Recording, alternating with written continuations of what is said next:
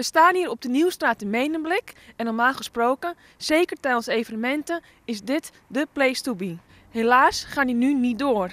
Wij hebben in ieder geval nu door de regeringsmaatregel het truckfestival af moeten lasten van 24 mei. En we hebben gisteravond ook besloten om het Korenfestival van 6 juni ook te laten vervallen. Dat is wel heel jammer natuurlijk. Ja, het is heel erg jammer, want eh, de vrijwilligers zijn natuurlijk al maanden bezig om te voor te bereiden. Het truckfestival was nagenoeg helemaal rond. Korenfestival waren ook genoeg deelnemers. Maar ja, dit, uh, dit is overmacht. Dus, uh, en zekerheid is natuurlijk alles. En veiligheid en gezondheid is helemaal alles. Had u hier dan een beetje rekening mee gehouden? Wij hadden er ja, wel een klein beetje rekening mee gehouden. Maar dat nu plotseling het van 1 april naar 1 juni gaat, ja, dat was wel een verrassing.